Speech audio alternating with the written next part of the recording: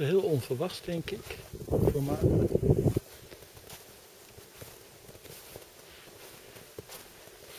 Gaan we toch naar haar toe op uh, deze dag voor haar verjaardag. De Rozenstraat en de tuinen.